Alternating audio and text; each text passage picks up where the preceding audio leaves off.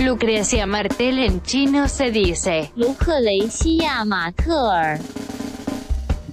Lucrecia Martel está con nosotros. ¿Puedes bajar con esa perillita si está muy alto o muy bajo? Manejas tu volumen propio. Muy bien. Eh, llegó finalmente.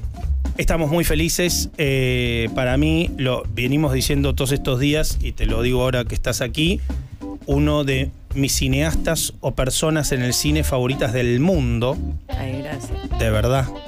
Me parece que es impresionante todo lo que vas haciendo, construyendo dentro de la pantalla y fuera de la pantalla, entre película y película, cómo vas repensando el trabajo. A mí me gusta no solo ver tu obra, sino verte también. Eh, más que comentando tu obra, las preguntas y respuestas nuevas que aparecen, digamos, más preguntas en tal caso que respuestas. Vi Sama ayer, una película basada en la novela de Antonio Di Benedetto. La vi solito, me armaron ahí en Patagón y tuvieron el- no, me- aparte es mucho más interesante poder charlar habiendo visto la película.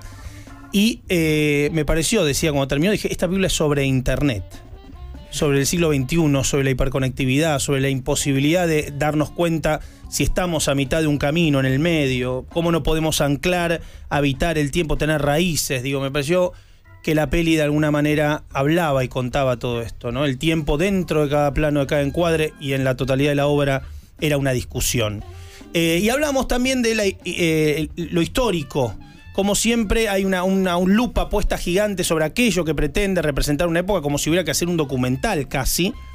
Y un poco, tanto en la novela como en nuestros grandes narradores, Roberto Arte, Jorge Luis Borges, eh, Adam Buenos Aires, Los Asesinos de los Días de Fiesta de Marco de Nevi, eh, todos han inventado sociedades y de algún modo han recreado sus propias sociedades secretas sin la necesidad de tener que decir, bueno, los gauchos de Hernández, sin más lejos, los cuchilleros de Borges, el hombre de la esquina rosada no es un retrato fiel, él se inventa algo que cree con obviamente algún anclaje. Y en ese sentido, Sama me parece también que inaugura una época de decir, así debería ser el cine histórico sobre los mitos argentinos. Bienvenida, Lucrecia Martel. Bueno, muchísimas gracias por este prólogo. De nada. No, puedo, no reproducirlo. Y gracias por invitarme. ¿Sabes que ese punto que, que decís vos, la, la representación del pasado, eh, me parece de una. Este, que, que es una de las cosas más eh, cruciales a discutir, no solo en torno al cine, sino en torno a nuestra cultura en general, ¿no? Porque eh, si vos lees las crónicas, que es una cosa que yo hice antes de Sama y, luego efectos de Sama, las crónicas sobre todo del siglo XVIII, algunas, en particular la obra de Félix de Azara, eh, es tan evidente que este, este continente fue descrito por, por, por una gente que venía con una concepción del tiempo, del- del, eh, transportarse, del, de- de- digamos, de moverse, que no tenía nada que ver con, con- con lo que se estaban enfrentando acá, que, digamos, la, es, es la evidencia de que la historia es un relato que, que lo escribe el que tiene la capacidad de escribirlo y que eso permanezca, que en general es el que ganó finalmente la batalla Sí, claro.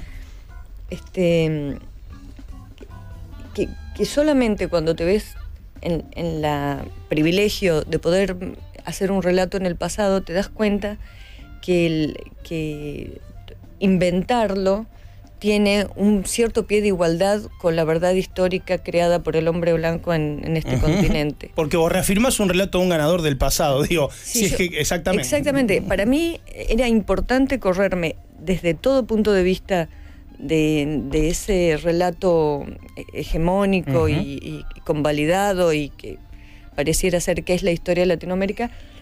Me parecía que había que alejarse porque eh, si no la, la película iba a ser muy conservadora, pero en términos políticos, en términos este, más profundos que, que la mera estética, ¿no? Y, y para, digamos, viste que, que para que uno, para tener una idea hace falta como que haya, hayan algunas chispas en, en, en, en- en varias partes. alguna gente cree que una chispa es una idea. Yo creo que una idea son un montón de chispas que, que tienen que iluminar bastante el terreno.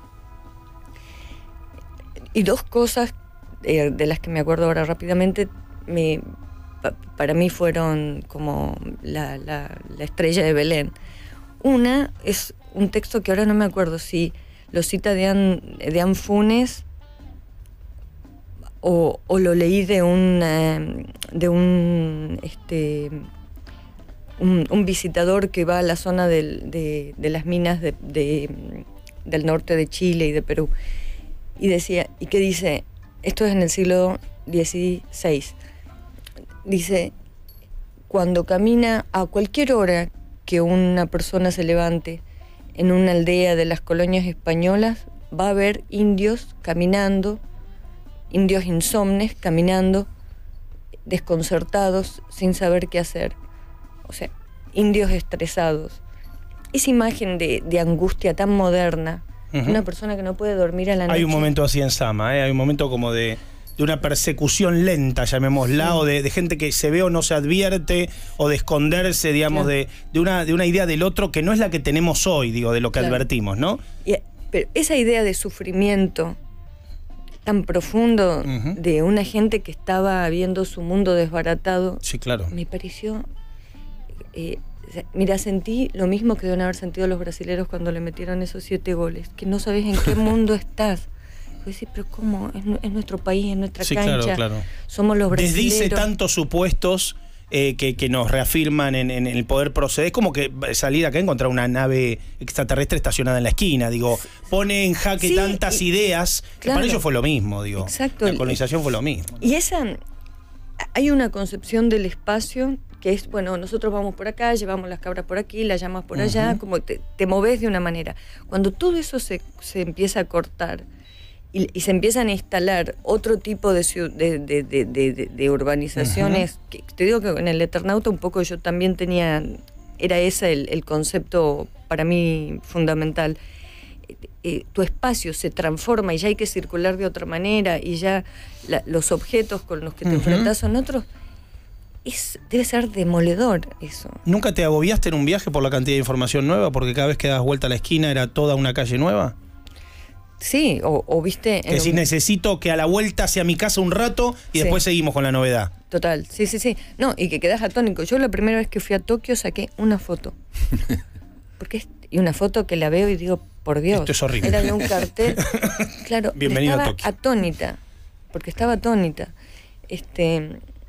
Bueno, pero eso, me- la- la- yo creo que un acierto, y es un acierto grupal, porque la- los que hicimos Sama somos un grupo que hemos trabajado mucho juntos ya, y, y que son te hablo de Julio Suárez en el vestuario, Marisa Mente en el maquillaje, Alberto Moquia en el, en el este en, en los peinados. Eh, de, de Brasil vino una, una directora de arte, Renata Piñeiro, que trabajó acá con una ambientadora que es Marionis. Eh, y esa, y esas mezclas también de la mirada brasilera, con toda su locura brasilera, fue muy importante para la película. Y, y le, dejamos, le, le dejamos mucho espacio para ese intercambio. Esta película, que es creo que la película en donde más plata invirtió Brasil comparativamente, esta no fue una película, costó, digamos, no es cara como podría haber sido. Sí, claro. Como son las del género, llamémosle Claro. cine histórico, sí, si Sí, quiere. costó creo que 3 millones y medio, de los cuales un millón y medio es lo que te sale el financiamiento, porque teníamos productores de 27 países. ¿Cuánto duró el rodaje? du- duró nueve semanas que luego se fueron alargando días y creo que finalmente casi estamos en 10 semanas. Eh, hay algo que pasa a los 15, 20 minutos de película, no antes en realidad, estoy siendo infiel a lo, a lo que vi, que es que eh, te deshaces de ese peso de esto va a ser un retrato, un documental, en la secuencia de títulos, en algún gesto que no queremos adelantar, semi-onírico, después hay otro, algunos otros más adelante, como para decir, bueno, estas son las reglas del juego. Vamos a vamos a viajar un rato en el tiempo, pero no vamos a ir al History Channel o esto es una pieza, digo, sos consciente creo de eso, digamos, tratás de rápidamente poner en tono, che, cantamos en esta clave y vamos por acá, porque pasa sobre todo al principio Mira, de la en la. Ciénaga yo me vi obligada a hacerlo porque sentía que el, el costumbrismo en el cine argentino, cuando ibas a hacer una película sobre una familia, era tan fuerte la disposición de lo- del, del espectador a, e- a esperar eso, que necesité empezar la película de esa manera un poco zombie.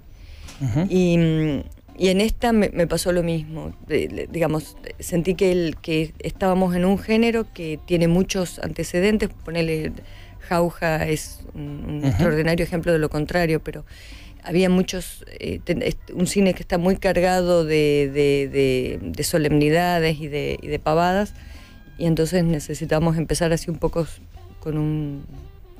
Corriéndonos. Pero en ese sentido honra la novela de, de Antonio Mm, Benedetto, que sí, eh, tam- exacto. también pretende ser un dispositivo que te toma un escenario histórico, pero para, para un juego mucho más poético que, que un retrato de época, sí. No, eh, lo que te iba a preguntar es, eh, tuviste tantos años sin, sin filmar y te leí alguna vez por ahí que decías que no tenías tantas cosas para decir y cuando sintieses que, que- que era el momento lo ibas a hacer y elegís hacer de Sama, ¿por qué fue Sama lo que te llevó a volver a dirigir? ¿Por qué elegiste esta historia? ¿Qué fue lo que te movilizó de esta historia? Mira, este, a mí me hace mucha gracia cuando me preguntan eso, porque lo que menos me imagino cuando termino una película es que vaya a filmar otra. Así que para mí es de lo más natural que no, no haya habido en el medio nada, salvando que bueno, hubo una cosa que no pude hacer y que sí quería, que era el Eternauta. Este, pero en, en- esos años, entre, en realidad entre La Niña Santa y Sama, yo em- empecé una investigación para el canal de la ciudad que, que no pude, era un experimento que ellos me, me dieron creo que 10 mil dólares para que lo desarrolle, eh, que, que no, no pudo concretarse en nada, eh, pero que, que usé ese dinero, quiero decirlo públicamente, absolutamente en esa investigación, que era la, mm, este, el- la morfología de los ríos, que es una cosa que a mí me fascina, y la y, y el espacio, como la concepción del espacio privado y el espacio público en los márgenes, ¿no? Que en esta ciudad está absolutamente violentado, casi no hay acceso al río. Y eh, con unas ciertas ideas que eran unas ciertas ideas que pueden parecer como de Paris Hilton, pero a mí me parecían que, que eran pertinentes, que es el derecho a la belleza, ¿no? A, a- a ver el río, a ver, a, a meterte un poco en el río, nadar. eh, ese derecho que en los años 40 en la Costanera Sur lo tuvo todo ese barrio enorme de, de- de la boca y barracas, tenían acceso a, a esa belleza. Este, a mí me parece, me parece un concepto político la belleza, en que incluso se aplica. a- de- vos decías, ah, bueno, pero ¿qué es belleza? ¿Qué no? Bueno, no me importa, no lo voy a tratar de, de definir ahora. Sí, claro.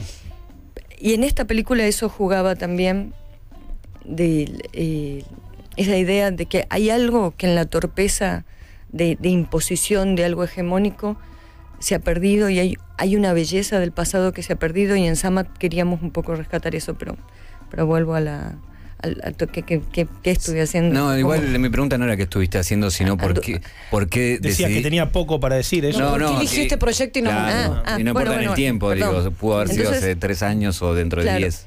Y entonces yo estuve mm, eh, con, con todas hipótesis que eran absurdas y la otra hipótesis era que el color que tiene el río Paraná eran esas las investigaciones y yo quería llegar a, a- a- a concretar de alguna manera visual y auditiva la- para, para- para transmitir esto al, al- al- al público.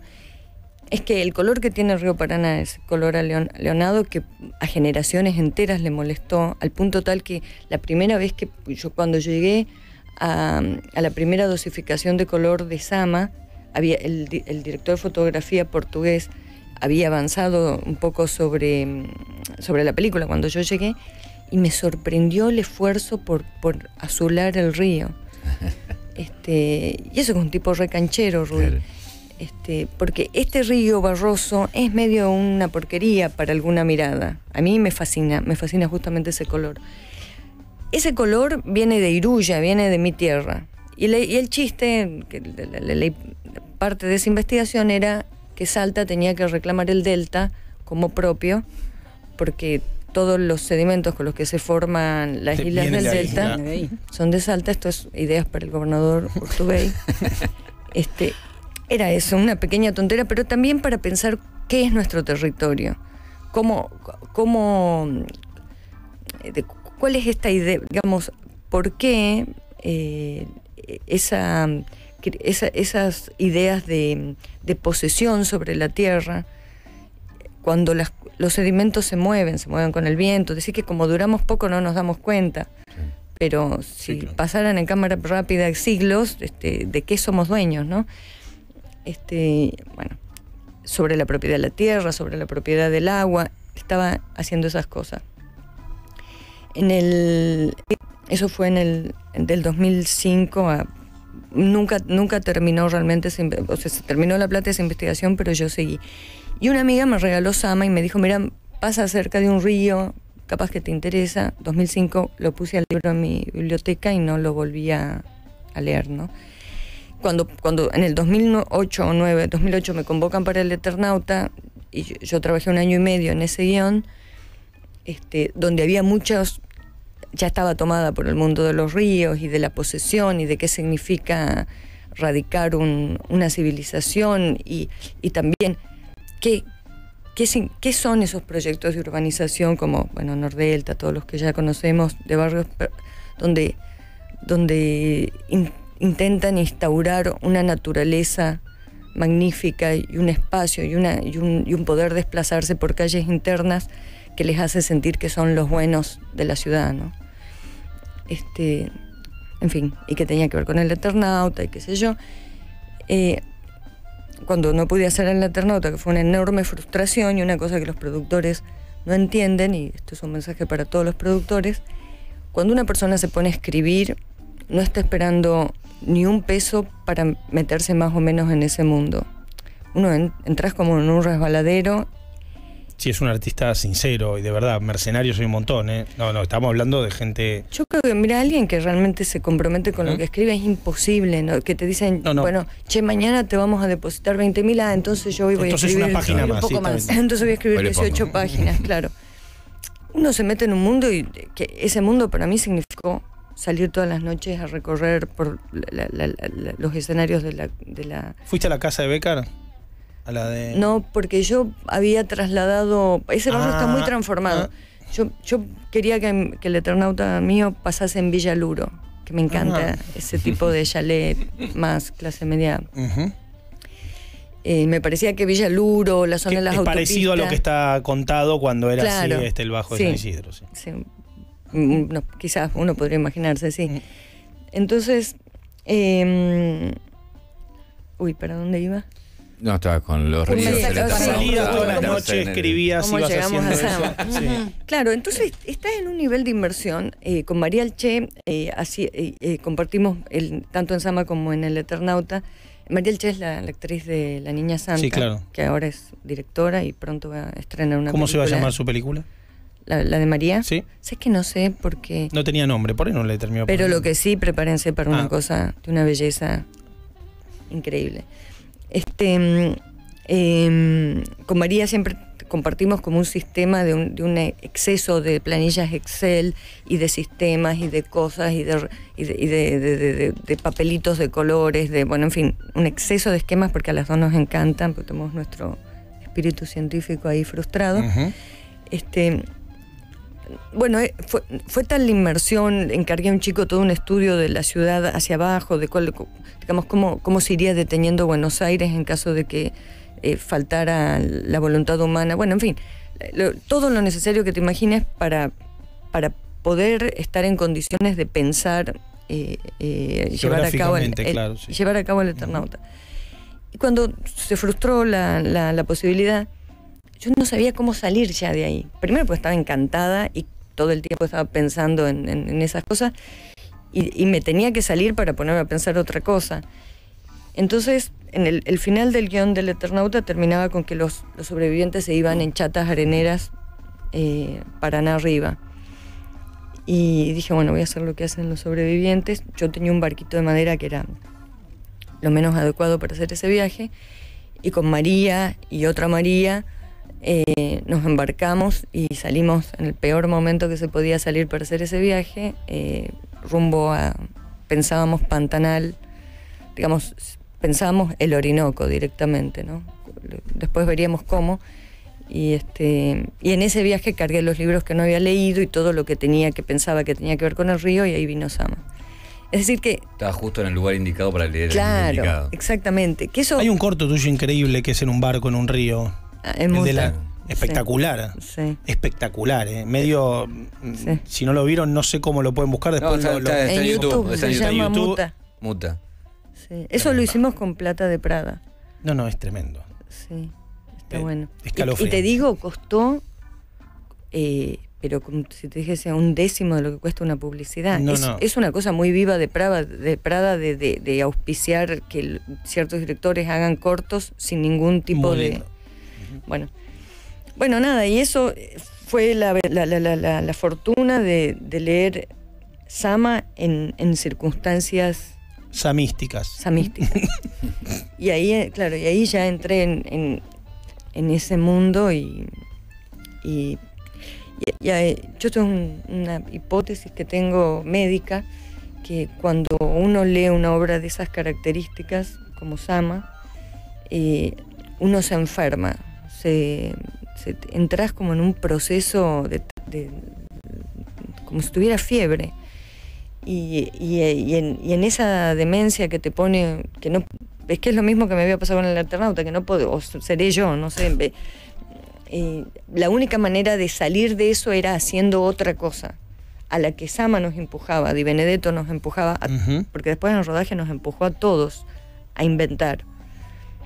Este, y ahí, porque mi generación, viste, los nuevos, los que, los que éramos, los que éramos argentino. Y ahora somos todos personas mayores. este, eh, teníamos muy, como en nuestras conversaciones, valorábamos mucho la invención propia y sobre todo la observación de nuestro entorno más inmediato. ¿no? Por eso un poco, durante mucho tiempo el género estuvo corrido de ese grupo de gente, por suerte eso ya se ha terminado, y, también la, la idea de, de adaptación. Y, y lo que yo en- aprendí con Sama es que eh, hay una circulación simbólica mm, que es necesaria para, para que una comunidad exista. Eh, digamos, leer eh, Di bueno, Sama, eh, que creo que Sama se publica en 1956, y hacer una película en el 2000, entre el 12 y el 17, Sí. llevo unos cuantos años hacer una película, eh, eh, que, que alguien sobre eso escriba, que, Sal- que Selva Alma- Almada haya escrito eso, eh, su- sus notas eh, periféricas a la película, digamos, eso es lo que nos convierte en una, en una comunidad. Por supuesto que también eh, el vino toro, bueno, pues se pueden hacer publicidades, Sí, sí. son auspiciantes. Este, no, bueno, también las los consumos, que, que- que el, el tetra, la no sé qué, el- también eso, pero nos hace una comunidad. Pero profundamente lo que aglutina, lo que hace que no seamos unos indios insomnes, es, es, este, ese intercambio, esa circulación. Y esa reinterpretación, esa, esa necesidad de lo que el otro hizo, te, te, te, te, te- te- te- te- alimenta. te convoca, te alimenta y te obliga a otra cosa. Eso me... Eh, estuve viendo en varias notas que haces como, como realizadora una especie, no, no de crítica, pero hablas de que la cinefilia está muy bien y sirve hasta un punto, pero hay que vivir también y alimentarse o nutrirse de otras cosas, las conversaciones, observar la vida, vivir. Eh, ¿Cómo te divertís en la vida? Digo, divertir, diversión, entretenimiento. Más allá del cine, más allá de los libros, más allá de Pasa- escuchar Pasa conversaciones. que para mí los libros, mira, eso para eso siempre detesto que, le- que los libros estén en la zona como que si no fuera el No, entretenimiento. no, no, lo, lo quería decir, Sí. lo sumo a entretenimiento, digo, Sí. ¿cómo además te divertís? Pasa Sí, que los libros que yo leo son muchos de ciencia, de matemática, este, eh, digamos, el, el- el- me encanta el lenguaje el duro de la ciencia, porque yo como no soy científica lo leo como literatura y es un placer ver La belleza que tiene. y la fragilidad, porque está a punto de todo el tiempo de, de fracasar eso y, y ya le ves a muchas veces la, la- la- la- la- la enorme potencia de fracaso que tienen algunas ideas. Así que eh, yo mm, pa- leo la, ciencia de hoy, la física y qué sé yo, de la misma manera que leo Claudio Leano o Plinio el Viejo, que, que si vos le, le lees esas, es- ese tipo de literatura, eh, que es la, el compendio de la cultura en el siglo I, eh, te, da- te das cuenta, hoy es eh, poesía. ¿Te quedaste digamos. con la espina de ser científica? Ay, sí, mucho. Sí, mucho. Y igual Y te lo preguntás, digo. si tengo mi fantasía, en mi Claro. casa tengo mi taller de cosas y creo que experimento y descubro cosas y me invento teorías y ¿Y qué parte de la ciencia más te interesa? ¿Hay La algo en física. particular? La física mucho. Y mm, eh, los últimos años la física es ciencia ficción. Entonces, Física cuántica, ese tipo de, de claro, cosas. sí, sí, de- de- digamos, Einstein inau- inaugura algo que en los últimos 30 años ya devino en, en locura. Este, y de hecho, ves la- la- la- los, lo- expresarse a los científicos de ahora y, y son todos unas personas que vos decís, esta gente aún hay que ponerle un chaleco de fuerza. Enloquecido. Claro, porque es un nivel de, de demencia ya del- de, de lo que se habla, está tan lejos de. Está lejos de nuestra experiencia, de cómo tenemos organizada y educada nuestra percepción, pero emocionalmente estamos mucho más cerca de la física moderna que de la física mecánica. Y- Más tradicional, ¿Y cómo ves los avances científicos y tecnológicos que quizás nos hagan a nosotros en unos años estar como esos indios o quizás ya estamos? Ya estamos. ya Claro. estamos. Pero ¿cómo te asusta? eh, ¿Ves que, que es para.? No, no, no. Mira, primero que yo creo que la humanidad es una especie fosforescente, no hace más que falta que, que cuando vas en un avión y estás por aterrizar de noche en cualquier ciudad, no podés más que venerar esa clase de parásitos fosforescentes que nos gusta la fosforescencia y, y cómo se evidencia eso. Visto el planeta de lejos, lo que hemos hecho es una maravilla. En el camino hemos hecho desaparecer especies de animales, especies de pero hemos hecho ap- aparecer otras cosas. Yo, eh, hay, un, hay una parte de lo ecológico con la que yo no puedo ni entender, porque eh, me parece que hay una, una, eh, una distancia que, que se quiere ver entre lo- la producción humana y la naturaleza que para mí no existe. Yo, yo creo que somos organismos que, que, desarrollamos en nuestro entorno tecnología, así como la, la, la, la, ostra hará una perla o el cangrejo ermitaño se mete y todo eso nos parece fantástico. A mí me parece que nosotros inventamos el plástico, inventamos eh, los derivados del petróleo y estamos destrozando un montón de cosas y creando otras. Digamos, no, no estoy a favor Como cualquier especie, decís. Sí, Sí. si, si no, no voy a ir a aplaudir que venga Río To, ¿cómo se llama? Río Sí, sí. Tinto y tú, esas, Sí, sí, claro. las mineras y hagan pedazos a la gente, por supuesto que no, porque uno también como gusano se defiende. Pero este pero sinceramente no puedo compartir esa idea de pérdida enorme que siente la gente muy ecológica, no la comparto porque no puedo hacer una gran distinción entre nuestra producción tecnológica y, y lo que la naturaleza, eh, que a lo que llamamos naturaleza, digamos, el paisaje va produciendo por sí mismo.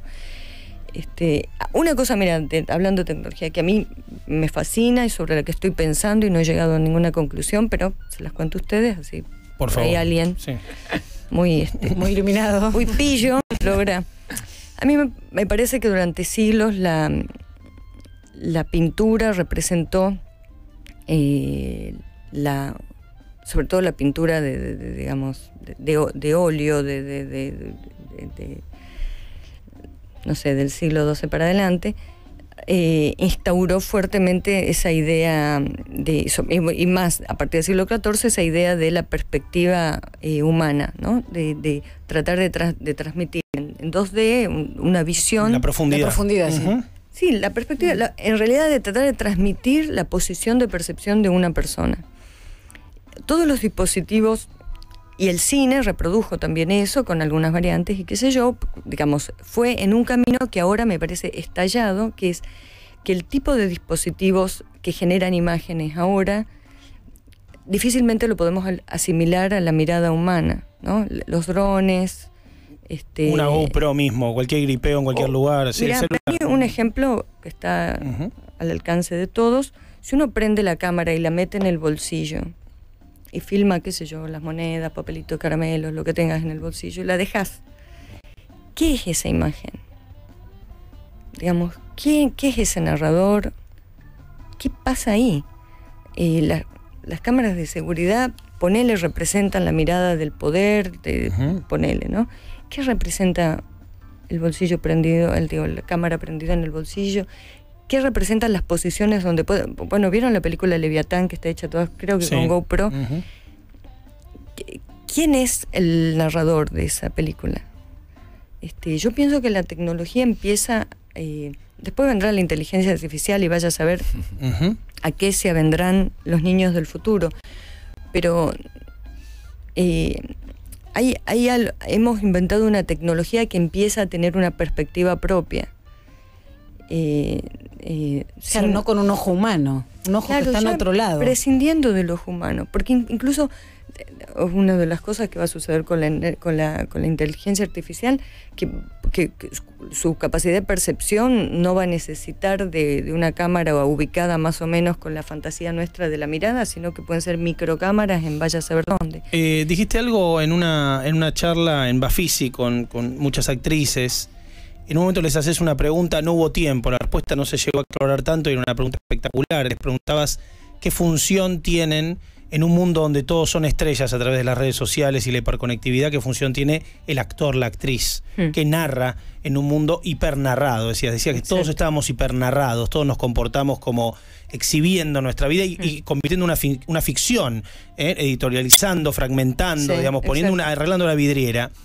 Vos como narradora, ¿qué- no, ¿no sentís también una amenaza de que hay que refundar o reformular el sentido? Mira, yo lo que siento también que tenemos que observar, yo, yo soy una consumidora, te diría, este, adicta a YouTube. Eh, yo hace años, pero no sé, 15 años que no tengo televisor, pero cuando apareció YouTube, realmente reemplazó las horas que en cualquier familia de clase media tiene el televisor. En- a la noche estoy la misma cantidad de, la misma cantidad de horas viendo. ¿Mirás de todo o mirás programas documentales, cosas o cualquier y tengo cosa? distintos sistemas, Ah. eh, por ejemplo, pa- palabra al azar. eh, Amor. YouTube. ta, ta, ta, Sí, o, o palabras que ni sé qué significan Ah. y después ver a ver hacia dónde voy. Este, y después dejarme llevar, dejarme de llevar. Esto no- me lleva a O otro. sea, pues te van y en sugiriendo. cinco segundos ya te olvidaste de dónde, ¿Dónde era. arrancaste? Claro, que arrancaste.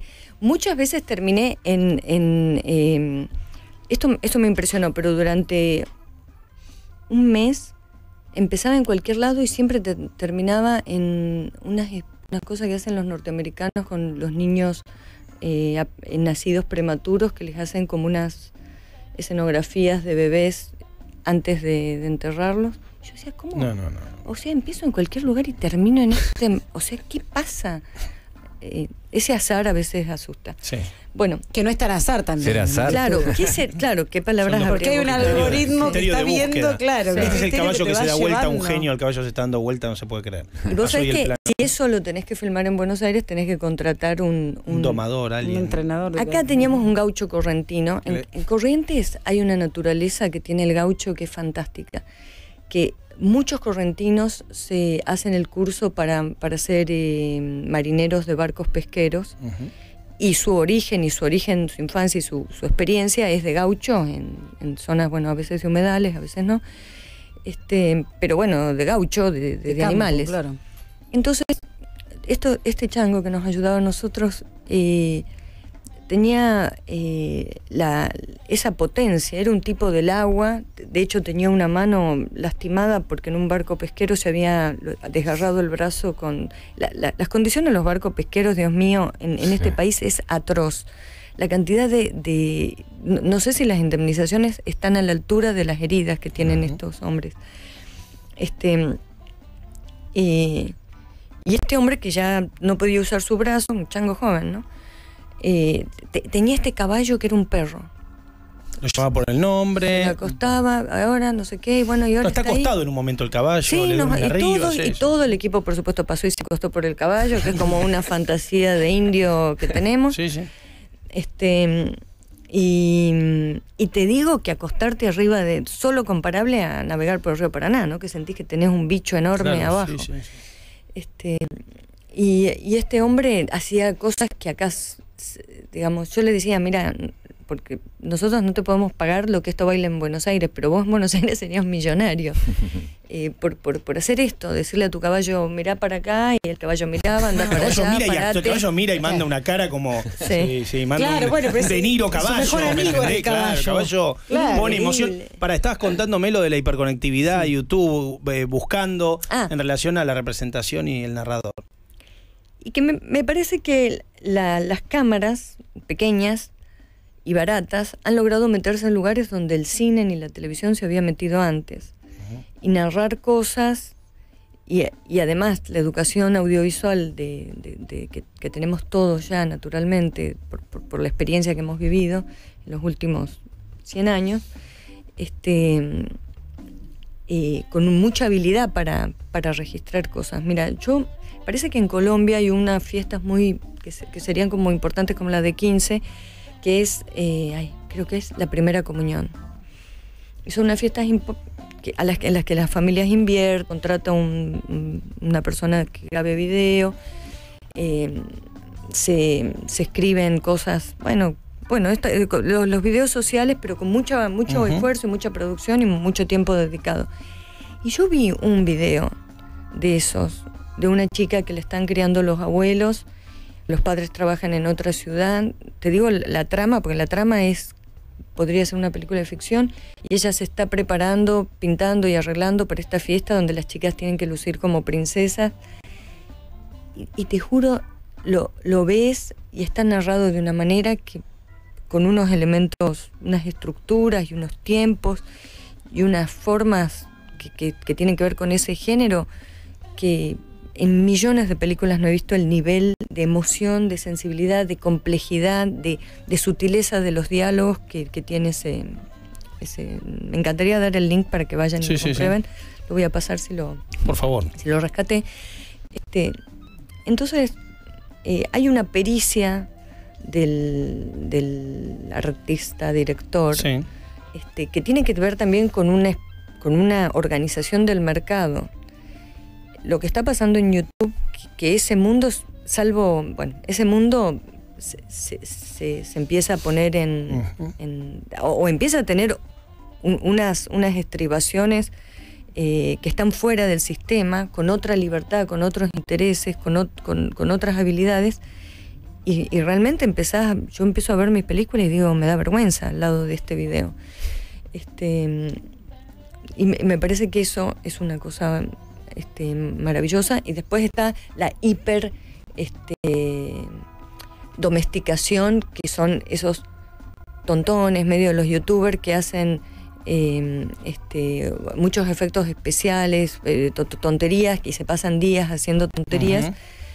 Y, y están los otros que hacen el relato de sus palabras mientras editan los videojuegos que, que- donde, donde la libertad parece ser muy grande y no hay ninguna libertad. Y el relato de esos chicos mientras van grabando Jugando sus gameplay, sí, sí. Sí, a veces llega a unos niveles de demencia, de delirio, de sofisticación de, entre lo que el chico dice y la- lo que sucede en la imagen. Nada, me parece eso, que, que eh, la- el solo acceso de, bueno, primero el- el- la posibilidad de que cualquier teléfono puede filmar sonido e imagen y puede rápidamente ser subido a YouTube y puede ser tomado por otros y reeditados y ese sistema de, de- ha abierto a una infinidad de géneros y de posibilidades narrativas que, que me parece a mí este, soslayar eso sería una gran idea. Eh, estamos con Lucrecia Martel, le decimos a quien recién se haya enganchado en vortex.com. Em, dijiste también algo que, me parece interesante, pues estás hablando mucho de desaprender cosas que tienen que ver con el cine, como tanto estructura, eh, libros de guion que aplican fórmulas y demás que es otro lugar común, otro cliché, que es que eh, el cine es entretenimiento, es eh, la trama, la trama, que esto, y creo que la trama está saturando entre eh, la cantidad de series que ha habido y los recursos. Digo, la trama parece ser como muchas veces lo único. Y vos hablás, hay una, una nota donde Paul Thomas Anderson dice, yo no voy al cine a ver historias, de la historia me olvido los cinco minutos, necesito saber qué, necesito sentir el mood de la película. Voy a vivir Claro. un rato con los personajes y a que me cuenten un mundo, digamos. No me importa la peripecia, entró, ganó, perdió, encontraron los Sí. documentos, le robaron la guita. Y en ese sentido, ¿no crees que vivimos en un momento sobreentramado y donde... Por supuesto. Bueno, Y te digo, yo tenía y apostaba todas mis fichas a la generación que se crió viendo Pokémon y, y- y después vino este coletazo de las series con su hiperguión que estará muy bien hecha, me sacó el sombrero, pero es de un nivel de, de- este, conservadurismo a nivel narrativo tremendo. Y te hablo desde Lost hasta... Breaking Bad. Sí, sí.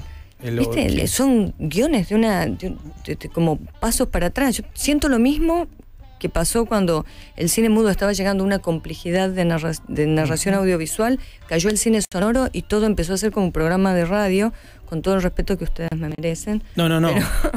Dice Cuarón, uno puede no ver la pantalla y con escuchar lo que dicen ya entiende todo, porque es exposición, exposición, exposición. Y recordemos que muchas veces el mismo Orson Welles reconocía que la UFA en los años 30 y 20 le había robado todos los conceptos narrativos a eh, películas de propaganda, de comer- digamos, eh, publicitarias, históricas, noticiero, con sobreimpresos, trabajo de edición, intertítulos, digo, lo más rico que pasaba porque al haber carencia de lenguaje, había que justamente sostenerse en ese lenguaje Sí. que era el, el audiovisual, ¿no? Sí, te juro que mi esperanza era, era este, Miyazaki con, con Chihiro. Mi, esper- mi- mi- mi esperanza siempre está más abajo porque digo, bueno, quizás Sí. este, la que está perdida es esta generación fanatizada por las series. Al, al otro día alguien me contó que dijo, ay, qué nazi, no sé qué, nazi, no sé quién sos, es un tonto. Este, eh, eh, la, la trama, creer en la trama, creer fuertemente en la trama es confiar en, en una invención que es de una arbitrariedad enorme, que es la línea de tiempo, y creer que los hechos se organizan en causa-consecuencia, como, como si esa cosa realmente existiese eh, en, el mundo. ¿no? Si, si, si uno no es consciente que, cualquier organización de causa-consecuencia eh, es de una este, arbi- arbitrariedad y si no, por lo menos de una reducción de visión muy grande, este, este, se, se está perdiendo la, la cosa. Por caso, eh, cuando uno ve una fiesta familiar o tradicional, la Navidad, que tiene un montón de ritos y de armados, no hay nada más lindo que ver la decadencia o, el- o cuando no se logra esa felicidad, o sea, la lu- o en un casamiento puede pasar, viste que hay, bueno, esto, esto va a ser feliz, ellos se aman, hay tantos supuestos y deberes que cuando tambalea esa felicidad o esa búsqueda de la consagración, pasan cosas increíbles, porque hay un patetismo muy poético o atractivo, si se quiere, en ese intento de escalar una montaña coreografiada de lo que debe ser una celebración, un festejo. Suele pasar mucho en, en esa clase de ritos. Y, a- y aparte es una, digamos, necesita del, del prejuicio en este sentido. Vos, para eh, una trama es un sistema de prejuicios. Eh, donde, donde te, te dan unos ciertos elementos y con tus prejuicios supones lo que va a venir y eso crea la tensión. Este, el cine que no apuesta a eso necesita que el la- crear la tensión con una cantidad de elementos que no son, que no tienen una organización causa-consecuencia, que se dan en la profundidad del, del- del plano, se dan. Mira, este concepto para mí ilustra muy bien. Mucha gente me dice, ay, pero qué silenciosas tus películas. Y yo, sí, por Dios, apaguen la imagen y escúchenla. No, no hay que hay. cero silencio. Lo que no hay es el sonido que esperan. Sí. Y esa es la tensión, ya que no puedo apostar a la trama, porque no es eso lo, a lo que yo apuesto narrativamente, con Guido lo que hacemos es traicionar las, las este, expectativas sonoras. Vos ves una casa, eh, qué sé yo, los árboles se mueven, las hojas se mueven, y estás esperando ese sonido como espectador. Pasa una moto, querés escuchar la moto. Ahora, suponete, pasa, tenés esa escena, escuchás las hojas, pasa la moto y no la escuchás. Ya hay tensión. Sí, claro. Porque te falta algo. Te falta algo que pensás que debería haber. Este, bueno, como- eh, eh, eh, digamos, son apuestas. Igual te digo, con todos los sistemas, eh, la humanidad puede mejorar. Bien. Eh, Julio. Eh, quería preguntarte, si bien eh, es algo histórico, eh, preguntarte sobre la, agenda actual en nuestro país, por lo menos, es, algo que se está discutiendo a nivel mundial, pero bueno, el tema del feminismo y, las tensiones y, cómo va cambiando y cómo va interpelando y cómo la sociedad eh, eh, está hoy metida eh, con, con ese tema de constante discusión y que genera muchas tensiones por un lado, internamente también. ¿Vos cómo, cómo ves todo esto? Bueno, digamos, es, es evidente que, el, que la- el, movimiento del feminismo más duro desde los años, no sé, creo que son los 20, para este lado, este, eh, ha generado unas transformaciones enormes en, en- nuestra sociedad, ha permitido percibir cosas que no se percibían. Siempre es muy chocante, eh, primero, siempre los comienzos de esas cosas tienen que ser tan férreas las, las, las luchas que, que para el resto de la sociedad resultan chocantes y ens- enseguida se demonizan esas mujeres que, que en realidad lo que están haciendo es poniéndose al hombro la transformación histórica de, de- de- una comunidad. Lo mismo su- sucede con, con las este, con los reclamos de tierras de, los pueblos indígenas. Este, es, eh, están tratando de salir de lugares de no poder y de, y de, y de abuso y, y- siempre es molesto y ya estamos escuchando todo lo que se dice de, los que se metieron acá y a, tratar de imaginar este, conspiraciones internacionales para una cosa que, todos conocemos desde, la, la- la escuela primaria, que acá a una gente se la sacó y se la dejó en la pobreza absoluta. Este, yo creo que, digamos, no me, no me considero feminista no por, por hacerle un guiño a los varones, sino porque las feministas que conozco son minas que han estudiado tanto, han agudizado tanto su mirada sobre, sobre muchas cosas que no me, no me quiero poner al nivel de esas mujeres, que han hecho unos trabajos intelectuales tremendos para percibir cosas en donde los demás no ve- vemos, eh, naturalizamos. Así que por eso no me digo feminismo, por feminista por respeto. Eh, me, me parece fundamental la- el tra- ese trabajo. Eh, creo que, que mm, nosotros estamos viviendo un fenómeno atroz, que es la cantidad de mujeres asesinadas, que creo que es una cada 16 horas, Tremendo. atroz, en una gran mayoría en manos de parejas, exparejas o familiares. Eh, creo que ese fenómeno mm, eh, tiene, eh, por supuesto, todos los condimentos del, de- de- del, este, la- el abuso o la visión de- de- del patriarcado sobre las mujeres, pero tiene un componente también de la economía que me parece que para muchos hombres que han sido educados en, en esa imagen de ser los proveedores, de ser quienes sostienen la familia, de- y aparte en la- en- el, hombre no ha sido educado para la frustración o no, no está muy preparado para la experiencia de la frustración, que las mujeres sí tenemos ese entrenamiento, por eso para mí somos ideales para hacer cine. Este, el, los hombres no, no tienen, ti- tienen eh, toda la sociedad los empujan a que deben lograr determinadas cosas y las mujeres estamos medio liberadas de eso. Ahora, cuando vos estás en un país como este, donde el horizonte de tu realización es casi nulo, y el único territorio por una mala, mala, este, este, mala formación, mala educación de nuestra sociedad, el único territorio, el último territorio, el último bastión de ese hombre este, que, que no va a poder realizarse ni económicamente ni profesionalmente, es el amor, es la pareja. Y si esa mujer un día no perdió el amor, se desenamoró, se quiere ir, se enamoró de otro, ese tipo entra en el infierno y ya no le importa nada y, está dispuesto a destrozar también eso. Eh, no es solamente que las, toda la violencia de ahora es porque las mujeres est- están mucho más reactivas, bueno, también, por supuesto, eh, respetan más su deseo, de- de- de- de- de- se, se- se enamoran de otro, van, lo plantean, lo dicen y se van.